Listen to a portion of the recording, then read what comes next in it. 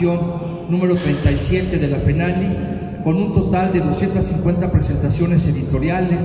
más de 150 presentaciones artísticas y con la presencia de 127 casas editoriales.